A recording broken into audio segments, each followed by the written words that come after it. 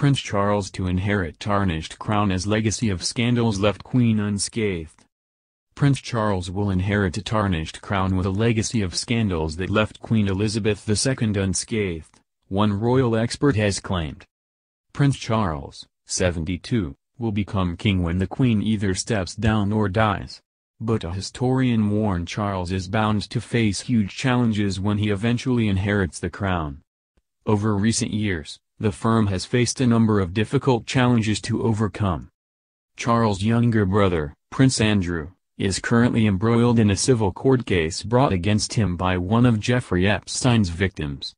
While Andrew has vehemently denied all of the accusations made against him they have seriously marred his reputation and he stepped down from royal duties following a widely criticized interview with the BBC in 2019. Despite reports Andrew asked the Queen to be allowed to temporarily step back as a senior royal following the death of his father Prince Philip, Prince Charles is thought to be adamant there is no way back for the Duke of York. Last year, the royal family was dealt another blow following the shock departure of Prince Harry and Meghan Markle from the firm. Following their move to California, the Duke and Duchess of Sussex have made several explosive allegations about their time within the royal family during an interview with Oprah Winfrey. During the bombshell sit-down, the couple claimed a senior royal had a conversation with Harry about the skin color of their son, Archie, before he was born. Oprah later confirmed the accused royal in question was not the Queen nor her late husband Prince Philip. At the time of announcing their departure, the Duke and Duchess outlined their wish to split their lives between North America and the UK, retain their full titles and patronages and continue to serve the Crown while also pursuing for-profit projects to become independent from the sovereign grant. However, their plans were dashed following meetings among the royals and Meghan and Harry eventually stepped down renouncing to use their HRH styles, carry out royal engagement and retain their royal and military associations.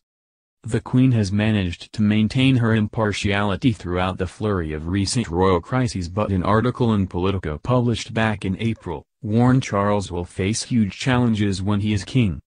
The article by journalist Anna Isaac argued, while the Queen remains personally popular, a series of public relations disasters has tarnished the rest of the royal family. She continued, the controversies have not touched the Queen, but they're bound to make things more difficult for Charles, who will be subject to intense scrutiny from the moment he takes over. The Prince of Wales lacks his mother's knack for staying above the political fray. Elizabeth aggressively cultivated a reputation for impartiality, Historian at the Institute for Government, Catherine Haddon added, he's, Charles, been much more cautious at least in public of any semblance on having views on matters. But I'm not sure that the same level of trust exists there. Ems Haddon claimed Charles may strain to emulate his mother's diplomatic skills. In December, the Queen kicked off a new era for the royal family with an event attended by seven senior family members, with the group quickly being dubbed the New Firm.